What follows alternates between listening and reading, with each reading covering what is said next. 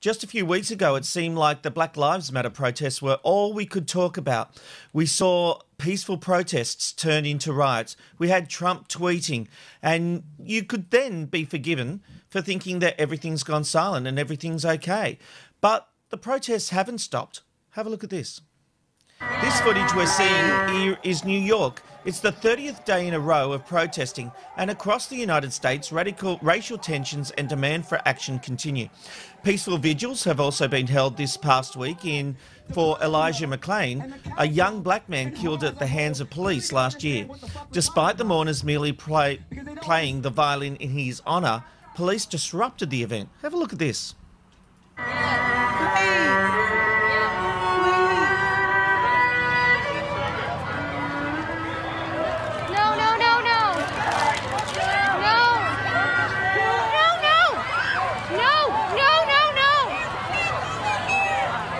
You've got to be kidding me. No. No. Uh, Robbo, why does the media not want to show these protesters in a peaceful light? You know, like this, the peaceful protests are not at the front of the news, and they're also not reporting on the unnecessary violence here. Is because the news cycle's moved on? You know that, that it's it's a really sad thing, Rob. You know, you and I know the old saying: "If it bleeds, it leads," uh, which is basically you know that that governs what news does, especially in this 24-hour news cycle. Uh, unless something big happens again, we've moved on. Uh, that is media gives you what the, what what the majority want, right? So people used to say that today, tonight, in a current affair, they're awful programs and blah blah blah, they rated in the millions, you know, and and a current affair still rates very high.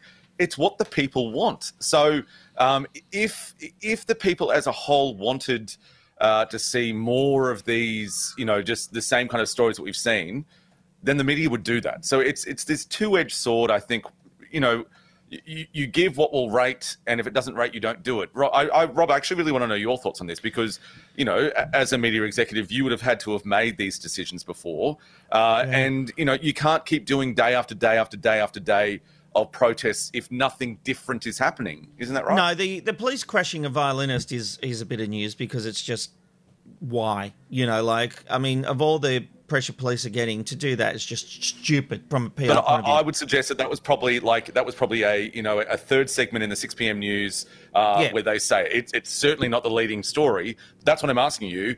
Uh, you know, you, I agree you with said you. the word yourself. If it bleeds, it leads. Um, news services, especially our five, six p.m. news services, they want excitement. They want stories. So when there was protests and to, statues yeah. falling down, that's why it led the news. The fact that pre- protests are peaceful. It's not really that much of a news story. And so it Yeah. comes back to me. And it's funny, I've been thinking about this a lot today, and I actually may have been critical of the um, the the protesters when we were talking about it because they were tearing up houses and looting, and I just didn't care for that. But it put this movement on the world stage. Everything has been flowing on now about Black Lives Matter. You know, it, to the point where it goes too far when we're talking about TV and shows being pulled and episodes and all that kind of stuff. But there is a real movement happening. And would that have happened with peaceful protests? And I'm actually not so sure that it would. So I'm actually coming around to the fact that if you want real change, Ben, maybe you actually have to go the whole hog. The, the one thing I've always found bizarre is when courts decide whether a protest can go ahead or not. Isn't a protest about protesting against the man and against the machine? And this idea that you can legislate whether a protest can go ahead has never made sense to me. But I'm actually starting to think that if you really want a message out there and you want to get onto these news services, you have to break a few eggs. Yeah, I think so. I think at the end of the day, though, we need to think about things a little bit uh, differently. You know, it's really funny. We had Heidi last night on Ion Big Brother, and we were talking about how she had shaped her career very early on working in regional radio. And lots of people in regional radio are fighting over trying to move up the ranks and get to the metro environment. How do you create a voice? How do you stand out above everybody else? And when it comes to these protests, I think that we need to think about how, in which, and why we protest in 2020.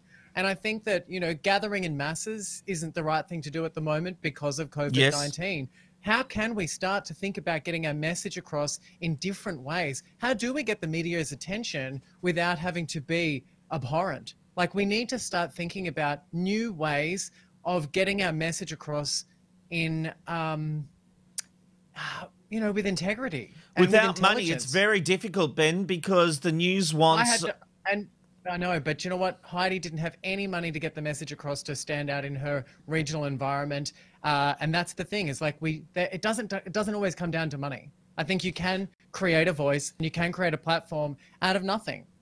You know, I, I So think I there's think- definitely truth to that, but when you're trying to get a movement happening, I just I, I don't know what the answer is because it's just not that easy, and especially if you are trying to get coverage on the news services uh, and and being very clever about it, maybe doing smart kind of protesting, um, you know, something that gives the news a bit of color, uh, because that's really what it is. They want the excitement of a protest or they want the color of something quirky. You know the fact is that they're they don't care about the actual um, world good.